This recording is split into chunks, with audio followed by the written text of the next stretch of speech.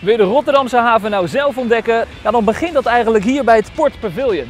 Dat zit aan de Leuvenhaven, eh, vlak naast het Maritiem Museum. En dat is eigenlijk het informatiecentrum van de havenkant van Rotterdam. En we gaan even binnen kijken. En binnen zien we hier een gigantische fotomaquette van de hele haven van Rotterdam. Hè? Van het ene puntje, de stad, met de Kop van Zuid, tot het andere puntje van de haven, de Maasvlakte 2.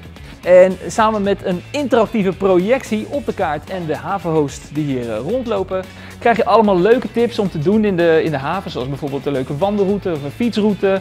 Je hebt musea, je hebt uh, restaurantjes, hotspot voor watersport. En eigenlijk alle unieke plekjes die je echt gezien moet hebben van de haven. Nou, dus als je een dagje uitgaat in de haven, dan begint het eigenlijk hier.